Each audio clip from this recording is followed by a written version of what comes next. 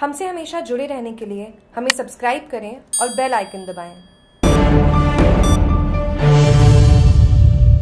जोधपुर के Indian bank में लगी भीषण आग, कंप्यूटर, एसी और फर्नीचर जलकर हुए खाक। जोधपुर शहर के भदवासिया स्थित इंडियन बैंक की शाखा में आज सुबह भीषण आग लग गई। शॉर्ट सर्किट के कारण निकली चिंगारियों ने आग का रूप धारण कर लिया। बैंक से धुआँ निकलते देख कुछ लोगों ने पुलिस और बैंक मैनेजर को सूचना दी। इसके बाद मौके पर पहुँची दमकलों ने आग पर काबू पाया। महामंदिर थाना अधिकारी सुमेर दान ने बताया की इंडियन बैंक की भदवासिया शाखा में महामंदिर थाना अधिकारी सुमेर दान ने बताया की इंडियन बैंक की भदवासिया शाखा में आज सुबह करीब साढ़े दस बजे धुआँ निकलते देख लोगों ने सूचना दी। उन्होंने पहले स्वयं के स्तर पर आग बुझाने का प्रयास किया, लेकिन धुआँ अधिक होने के कारण अंदर प्रवेश करना मुश्किल हो रहा था। इस पर नागौरी गेट अग्निशमन केंद्र के दो दमकले लेकर फायरमैन शैलेंद्र सिंह, प्रवीण सिंह, अनुबंधित दमकल कर्मी राहुल एवं उत्तम वहाँ पहुँचे। सूचना आरोप बैंक मैनेजर भी वहाँ आ गए। तब बैंक का ताला खोलकर अंदर प्रवेश किया जा सका। ताला खोलने तक आग पूरे बैंक को चपेट में ले चुकी थी। आग की लपटे व धुएँ से भरे बैंक में कुछ नज़र नहीं आ रहा था। दमकल कर्मियों ने पानी की बौछारें डालकर आग पर काबू पाया। इसके लिए करीब आधा घंटे तक कड़ी मशक इसके लिए करीब आधा घंटे तक कड़ी मशक्कत करनी पड़ी। आग से बैंक का पूरा फर्नीचर कंप्यूटर सेट एसी और वायरिंग जलकर नष्ट हो गया। आग लगने का आरंभिक कारण एसी अथवा बिजली के तारों में शॉर्ट सर्किट होना बताया गया है।